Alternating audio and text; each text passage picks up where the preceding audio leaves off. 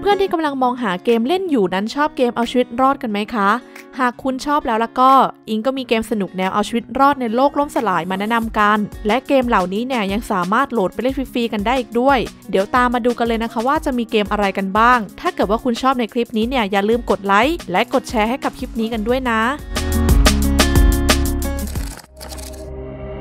เรามาดูเกมที่ 1 กันเลยค่ะ เดี๋ยวอิงขอแนะนำกับเกมแนว Survival ในสไตล์ซอมบี้ที่มีภาพกราฟิกดูดี ไว้เล่นกับเพื่อนๆ อย่างเกมที่มีชื่อว่า Dead Frontier 2 เกมนี้เนี่ยเราสามารถสร้างตัวละครปรับแต่งหน้าตาทรงผมแล้วก็เพศได้หน่อยนะคะ ส่วน gameplay นั้นก็ออกแนว old school หน่อย ทางผู้เล่นเองเนี่ยจะมาสนุกกับการออกเดินทาง ไล่ฆ่าพวกเหล่าซอมบี้เพื่อเอาชีวิตรอดภายในโลกมืดมน พร้อมทำภารกิจเก็บเลเวล เพิ่มทักษะความสามารถในการเอาชีวิตรอดจาก skill ต่างๆ ที่เรานั้นสามารถปลดล็อกมาใช้งานกันได้ โดยเกมนี้เนี่ยเราก็จะมาลุยเดี่ยววิ่งเปรี้ยวไปตบเหล่าซอมบี้กันอย่างโหดเลยค่ะ หรือหากว่าเราเนี่ยอยากจะชวนเพื่อนๆมาเล่นด้วยกันสามารถ tag team กับผู้เล่นคนอื่นๆทำภารกิจกันการกำจัดเหล่าซอมบี้ในสถานที่ต่างๆ กันก็ได้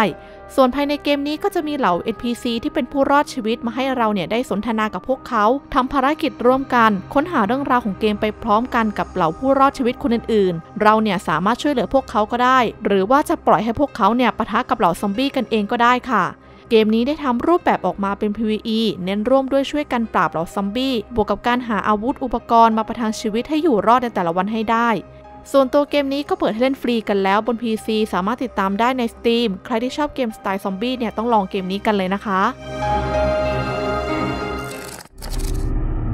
ถัดมาดูเกมที่ 2 เดี๋ยวพาไปตะลุยดงซอมบี้พิชิตภารกิจกับเหล่าผู้เล่นคนอื่นๆ กับเกมที่มีชื่อว่า Codename CURE เกมแนว action shooting ในสไตล์ co-op multiplayer ในมุมมองบุคคลที่ 1 ที่ทางผู้เล่นนั้นจะมารับบทเป็นหน่วยพิเศษที่ได้รับมอบหมายให้เข้าไปกำจัดเหล่าซอมบี้ และยังมีแต่ละสายอาชีพให้เลือกเล่นกันทั้งหน่วยจู่โจม หน่วยสนับสนุน นักซุ่มยิง และก็ยังมีสายอาชีพอื่น ๆ ซึ่งแต่ละตัวละครนั้นจะมีเหล่าอาวุธยุทโธปกรณ์ที่แตกต่างกัน เกมนี้เนี่ยก็ยังมีโหมดให้เลือกเล่นเป็นแบบเลือกเซิร์ฟเวอร์สามารถเลือกเล่นได้หลายโหมดเลยค่ะ ไม่ว่าจะเป็นโหมดจัดการซอมบี้ในแต่ละ wave ให้หมด โหมดวางระเบิด เพื่อทำภารกิจจัดการเหล่าซอมบี้กับเหล่าผู้เล่นคนอื่นๆ พร้อมไปวางระเบิดในจุดที่กำหนดไว้ และหนีออกจากสถานที่แห่งนั้นภายในเวลาที่กำหนดไว้ โหมดกำจัดซอมบี้ในพื้นที่กว้าง และก็ยังมีโหมดอื่นๆ ในสไตล์ PVP ที่เน้นความสามัคคีกันหน่อยนะคะ เพราะว่าซอมบี้ภายในเกมนี้ค่อนข้างโหด และก็ชอบรุมกันเป็นฝูงนั่นเองค่ะ เรานั้นก็ต้องยิงกำจัดพวกมันเก็บยาเพิ่มเลือด เพิ่มเกราะมาเสริมให้ตนเองตลอดนะ และถ้าเกิดว่าเราเนี่ยถูกฆ่าตายทั้งปาร์ตี้แล้ว ตัวเกมก็จะให้เราเนี่ยไปเริ่มเล่นใหม่กันเลยค่ะ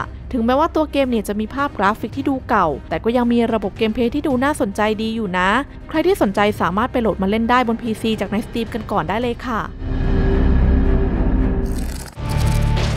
ต่อมาเป็นเกมที่ 3 เดี๋ยวจะพาไปตะลุยในโลกล่มสลายกันในเกมที่มีชื่อว่า Will To Live Online นับว่าเป็นเกม Survival เอาชีวิตรอดผสม MMO ที่จะพาผู้เล่นมาประจันหน้ากับสถานที่ รายล้อมไปด้วยเหล่ารังสีอันตรายที่เปลี่ยนสิ่งมีชีวิตให้กลายมาเป็นอสุรกาย ซึ่งเกมนี้ต้องอาศัยการเล่นแบบ multiplayer เลือกเซิร์ฟไปเล่น และทางผู้เล่นสามารถเลือกสายจาก 4 อาชีพ ได้แก่ทหารรับจ้าง นักขุดแร่ นักล่า และก็วิศวกร ในแต่ละสายอาชีพนั้นจะมีทักษะ skill ความสามารถ มีค่า status และชุดสวมใส่อุปกรณ์ที่แตกต่างกันออกไปเพราะไม่ทุกคนมาเอาชีวิตรอดออกหาอาหาร ไอเทม อุปกรณ์อาวุธ และเครื่องอุปโภคบริโภค ใช้ชีวิตในโลกแห่งนี้กัน เพื่อป้องกันภัยจากอันตรายรอบด้าน และเหล่าศัตรูที่คืบคลานเข้ามาจัดการเรานั่นเองค่ะ อีกทั้งเกมนี้ยังมีระบบในการแลกเปลี่ยนสิ่งของกับทางผู้เล่นคนอื่นๆ กันก็ได้ มีระบบอาวุธกระสุนที่ดูสมจริง มีระบบแคลนกับฝ่าย รวมถึงระบบอัปเกรดตัวละคร และก็อาวุธที่ทางผู้เล่นเนี่ยสามารถทำการปรับแต่งกันได้นั่นเอง ใครที่ชอบในเกมเอาชีวิตรอดแบบนี้นะคะ ลองหามาเล่นดูกันได้ใน Steam เลยค่ะในเกมที่ 4 นับว่าเป็นเกมสไตล์อนิเมะที่ได้หยิบเอาเกมแนว Battle Royale เกมเอาชีวิตรอดมาผสมกับ MOBA อย่างเกมที่มีชื่อว่า Eternal Return ถือว่าเป็นเกมฟรีอันมีคอนเซปต์เกมที่ดูแหวกแนวดีนะคะ มาพร้อมกับระบบเกมที่ดูน่าเล่น และเกมนี้จะมีเหล่าตัวละครที่มาพร้อมทักษะความสามารถอันแตกต่างกัน มาให้เหล่าผู้เล่นเนี่ยได้เลือกกว่า 20 ชีวิตกันเลย ไปเอาชีวิตรอดกันภายในแผนที่ที่มีชื่อว่า Lumia Island เราจะต้องมาออกหาของแย่งชิงทรัพยากรมา craft เป็นอาวุธอุปกรณ์เครื่องป้องกันทำของให้มีประสิทธิภาพไว้ต่อกรอนกับเหล่าศัตรู และก็ผู้เอาชีวิตรอดคนอื่นๆในแผนที่กว่า 18 คน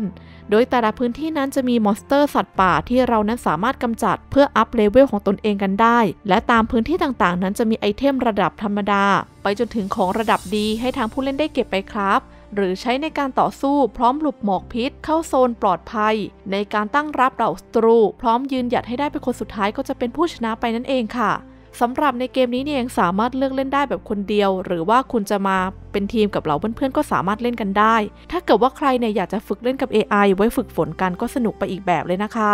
ส่วนเกมนี้ก็เปิดให้เล่นฟรีๆอยู่แล้วบน Steam สามารถไปหาโหลดได้เลยค่ะเกมสุดท้ายขอเสิร์ฟเกม Survival Horror ในมุมมองบุคคลที่ 1 ที่มีรูปแบบเกมคล้ายคลึงกับเกมดังอย่าง Left 4 Dead มาให้กับทุกคนได้สนุกกันกับเกมที่มีชื่อว่า No More Room in Hell ถึงแม้ว่ารูปแบบของเกมนี้เนี่ยจะดูน่ากลัวกว่าเกมดังที่เน้น action และยังเสริมความท้าทายด้วยเกมเพลย์ที่เล่นยากกว่า ซึ่งเกมนี้ทางผู้เล่นเนี่ยสามารถเล่นพร้อมกันได้สูงสุดถึง 6 คนกันเลยค่ะ แต่นั่นก็ไม่ได้ทำให้เกมเนี่ยดูเล่นง่ายขึ้นเลยนะคะ เพราะว่าทรัพยากรที่มีอยู่ภายในฉากนั้นจะถูกจำกัด ไม่มีการเพิ่มเติมตามจำนวนผู้เล่นที่เพิ่มขึ้นส่วนทางด้านด่านในเกมเนี่ยก็ยังมีให้เลือกเล่นกันมากมาย โดยจะแบ่งออกเป็น 2 โหมดหลักๆ ด้วยกัน อันได้แก่โหมดเอาชีวิตรอดที่ทางผู้เล่นเนี่ยต้องคอยป้องกันฐานจากการบุกถล่มของเหล่าซอมบี้ที่พวกมันจะรุมมาเป็นเวฟๆจนกว่าจะแพ้ และก็ยังมีโหมดเนื้อเรื่องที่เรานั้นต้องหาทางรอด และผ่านด่านออกไปให้ได้นั่นเองค่ะ ซึ่งการผ่านด่านในแต่ละแมปนั้นจะเป็นรูปแบบการสุ่ม ดังนั้นในการเล่นแต่ละครั้งนั้นจะแตกต่างกันออกไป ส่วนนี้ก็จะช่วยเสริมความท้าทายให้กับทางผู้เล่นไม่น้อยเลยนะคะ ใครที่สนใจเกมนี้สามารถไปโหลดเล่นกันฟรีๆได้ใน Steam เลยค่ะ และในวันนี้ทางอิงเนี่ยได้มาแนะนำครบทั้ง 5 เกมกันแล้วนะคะ ถ้าเกิดว่าชอบเนี่ยอย่าลืมไปโหลดมาเล่นกันด้วย แต่หากใครอยากจะติดตามเกมสนุกอีก สามารถกดติดตามช่อง Visual Gamer TH กันไว้ได้เลยค่ะ จะได้มาดูคลิปมาใหม่กัน และอย่าลืมกดไลค์กดแชร์เพื่อเป็นกำลังใจในการทำคลิปต่อไปกันด้วยนะ แล้วเจอกันใหม่ในคลิปหน้านะคะ สวัสดีค่ะ